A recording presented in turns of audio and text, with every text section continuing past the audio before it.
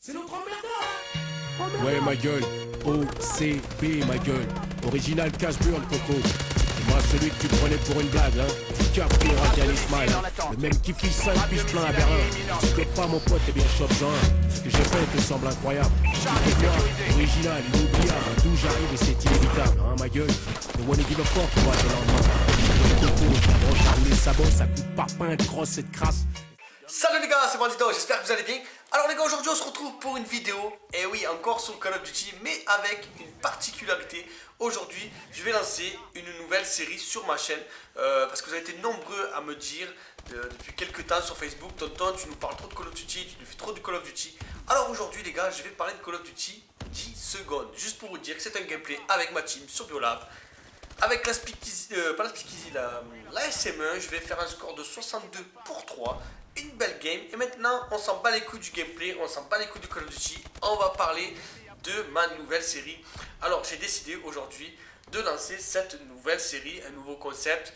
Euh, qui se rapproche un petit peu certes de certains youtubeurs mais comme je l'ai toujours dit de toute façon sur youtube on fait tous quasiment pareil on parle de Call of, on parle de sujet donc après l'important de cette vidéo l'importance pardon de cette vidéo c'est de faire aujourd'hui euh, d'essayer de, Je vais vous donner mon expérience, vous apporter euh, mes conseils euh, sur un sujet très sensible et comme vous le savez, Tonton il va pas passer par des mots délicats, c'est-à-dire il va pas employer, tu vois, genre, genre le mec posé, ouais, ouais, voilà, tu vois, tu comprends, tu dois faire ça. Moi je vais parler avec des mots crus, des mots sales, c'est un petit peu le, concept, on va dire, de, cette série sur ma chaîne c'est le savoir, le sais-tu, tu vois. C'est en fait, euh, comment te dire, c'est un petit peu toucher le, public. Bon, certes, il y a des dinosaures un peu qui me regardent, tu vois, il y a des mecs qui sont peut-être plus vieux que moi ou qui ont mon âge, ils vont peut-être dire, mais tonton, pourquoi tu parles de ça, nous on connaît. Mais aujourd'hui, je suis là un petit peu pour un peu réveiller les choses, euh, remettre certaines choses à, à leur place, on va dire.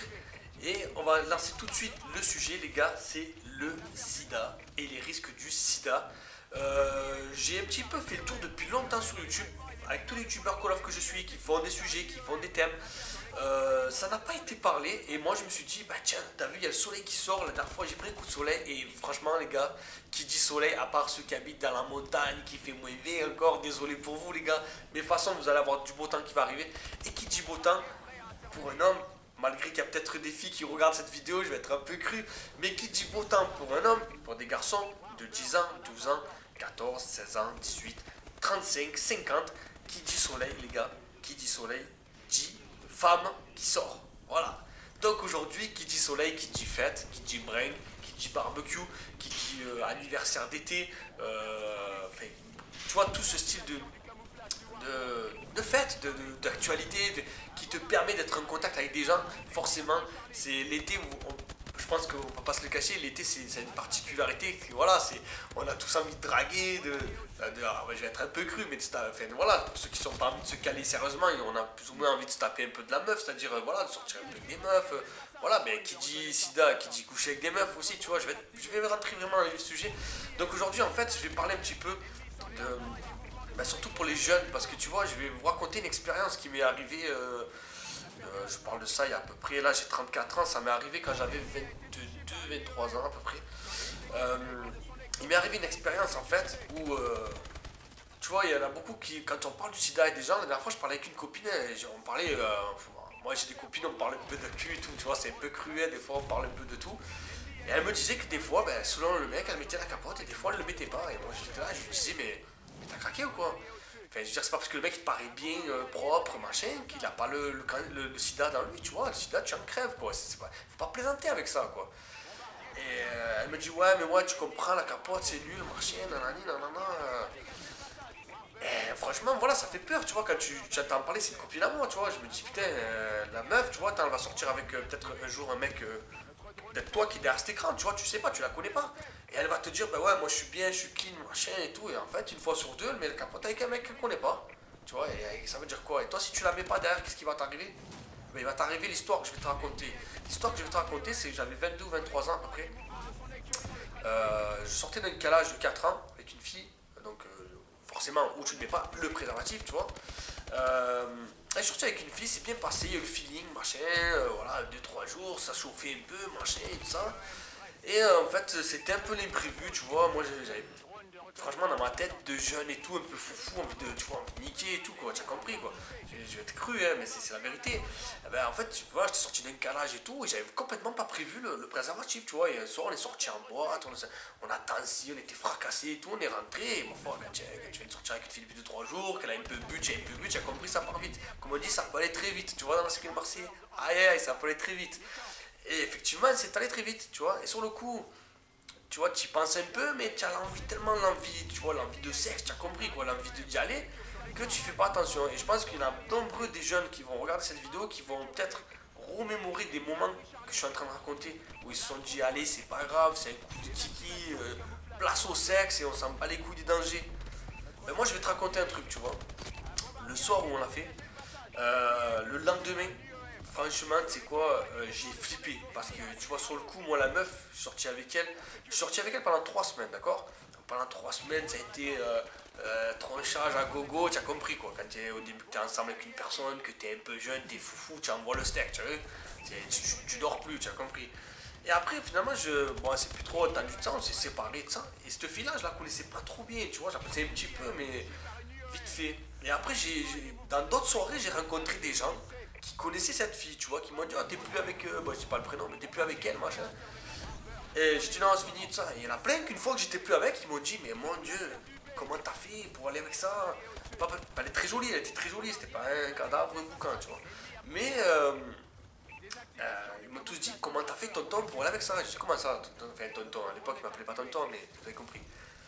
Et en fait, c'est tout simple. Euh, ils m'ont tous dit, tu vois, une fois que j'étais plus avec, ils m'ont dit, mais cette fille-là, elle se tape des mecs à Congo, n'importe qui. Tu vois, elle est, pas vraiment sérieuse, elle sort avec des mecs pendant 2-3 semaines. Et vas-y, ça envoie à droite, à gauche, machin. Et moi, dans ma tête, du coup, je me suis dit, my god, j'ai pas mis la capote avec ça. Elle paraissait clean, propre, nickel. Et j'ai psychoté, mais un truc de malade, tu vois. Tu te dis, mon dieu, mais imagine, tu es infecté. Et le plus qui te fait psychoter, mon gars, c'est quand tu vas faire l'analyse, tu vois. Parce qu'au début, tu vas confiant, tu tu prends rendez-vous, tu appelles, oui, bonjour, c'est pour une prise de sang, pour le, virus du sida, machin. Ils te disent, bah oui, venez demain. Euh, hein. Et mais quand tu arrives, tu te piques. On te dit, ouais, la réponse, bon, maintenant, à l'époque, c'était plus long, c'était deux semaines. Hein. Maintenant, c'est, dans certains laboratoires, c'est un jour. Donc, par exemple, tu vas te faire piquer le matin à 10h, le lendemain à 10h, tu as ta réponse. Mais moi, à l'époque, deux semaines, les gars, deux semaines à attendre tu vois, tu peux même pas imaginer ce que ça fait parce que si tu ne l'as pas vécu, cette sensation, et je vous la, je vous la souhaite pas parce que j'espère que vous allez vous protéger, le gars. C'est cette sensation de pendant deux semaines de te dire peut-être c'est les derniers jours de ma vie. Tu vois? Et là, je vous dis franchement, je l'ai fait il y a pas très longtemps aussi, tu vois, pour me rassurer un peu. Et j'étais confiant pour moi, tu vois. J'étais quand même confiant. Mais je l'ai fait pour, parce que ça fait très longtemps que je l'avais pas fait. Je me suis dit, bon, c'est jamais, tu vois, ça peut aller vite. Hein, une petite pipe par là, une petite ici, tu as compris, quoi, tu peux le choper. je suis cru, hein, ne, me mettez pas les dislikes parce que je suis cru. Moi, je vous parle franchement, comme si c'était mon petit frère ou, un copain. Je vais te dire les mêmes conseils, tu vois. Après, j'espère que je vais pas trop vous choquer, mais. Bref, je l'ai refait il y a pas longtemps. Et même le un jour d'attendre la réponse. Mais tu sais quoi, pendant un jour, tu vois, je, je reviens, deux secondes. Pendant un jour, pendant un jour, tu vois, tu sais à quoi j'ai pensé? Tu sais à quoi j'ai pensé pendant un jour? À ça. Tu vois? Tu vois ça? Pendant un jour, tu te dis, qu'est-ce que j'ai fait pour un coup de kiki Je vais gâcher tout, de mourir, de laisser euh, ma petite fille toute seule. Et que plus tard, l'entendre dire, ben, ton papa, il est mort parce qu'il a pas mis la capote. Tu vois, rien que ce jour-là, j'ai vécu le, je sais pas comment dire, euh, pas le pire jour de ma vie, mais presque, presque. Je suis allé faire les examens à 10h. Le soir, je suis rentré, je n'ai pas dormi de la nuit. Il y avait tout qui chamboulait, tu vois, dans ma tête. Je voyais les images des photos de ma fille, euh, de mes amis, de mes, de mes meilleurs amis, tu vois, tout, tous les gens que ma vie, quoi, mes parents et tout. Je me suis dit, mon Dieu, imagine demain à 10h, j'y vais. Et on me dit, test positif. Mais ta vie, tu crois que les gens te regardent comment après? Ça plus la même vie, gros. Tu sais que tu vas prendre des traitements, tu vas peut-être mourir. Enfin, normalement, tu le fais. Moi, je suis pas calé là-dedans exactement, mais je sais qu'on en meurt beaucoup parce qu'il y a encore beaucoup de morts par an. Donc voilà, franchement, c'est une expérience euh, assez difficile. Je la souhaite à personne. Moi, je sais que ça, je l'ai fait deux fois je l'ai fait là il n'y a pas très très longtemps. Et je l'ai fait il y a, quand je dis 22-23 ans, je sais plus exactement l'âge que j'avais. J'ai attendu pendant deux semaines. Pendant deux semaines, j'avais une boule d'angoisse dans le ventre un truc de malade. Et après, quand tu as, le résultat qui est bon, tu vois, qu'on te dit, tu rien. Ouais, gros champagne, vas-y, tu ressors, tu rebringues, machin. Mais tu oublies pas la capote, mon pote. Surtout. Après, si tu es bien avec une fille, tu vois, tu restes deux mois, on va dire un mois, un mois et demi avec, tu sens que voilà, vous voulez vous caler, vous êtes clair dans vos idées, vous voulez vous mettre ensemble, faire du sérieux et tout. Bah, tu vas, tu fais faire un test. C'est vrai que la capote, c'est nul, je vous l'avoue, j'ai jamais dit que c'était bien, hein, c'est pourri. Hein. Au pire, tu vas faire un test. Et une fois que les deux sont bons, après vous envoyez, tu vois, et puis capote et tout, ça part en live après, tu vois, c'est compris. Mais aujourd'hui, les gars, le but de cette vidéo, je vous dis franchement, c'est sortez couvert. L'été arrive, les femmes sont en folie, l'été, les hommes ils sont en folie. Faites pas n'importe quoi, faites attention avec l'alcool, les soirées, les bringues, les grosses, tu vois, les grosses, quand vous prenez, faites des grosses sorties avec de l'alcool, de, faites attention à tout, euh, ne faites pas passer vos émotions avant la, la réalité des choses. C'est le message de Tonton aujourd'hui. J'espère que ces nouveaux concepts de vidéos vous plairont. N'hésitez pas à mettre un max de likes si ces genres de vidéos vous ont plu. Euh, j'essaie vraiment de, vous apporter de la nouveauté sur ma chaîne. Par contre, j'attends de vous dans les commentaires si vous avez des sujets que vous voulez que j'aborde. Mettez-moi dans les commentaires, par exemple, bah, tonton, j'ai bien aimé ton nouveau concept, j'ai bien aimé ta, nouvelle vidéo, ton nouveau style de vidéo, si ça vous a plu, bien sûr. Et mettez, par exemple, tonton, j'aimerais que tu parles de ça, euh, nanani, nanana.